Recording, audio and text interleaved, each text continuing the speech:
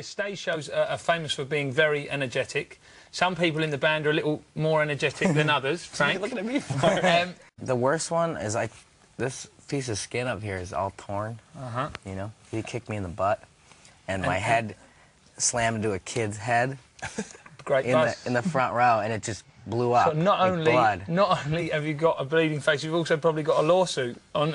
That was mine, and then Ray's got his head cut open by Frank's guitar. Yeah. I like, uh, if a you notice a running with theme. yeah, Yeah, exactly. The running well. theme. He's in the corner. He's over Right. there. I, he jumped into me and sliced my head open.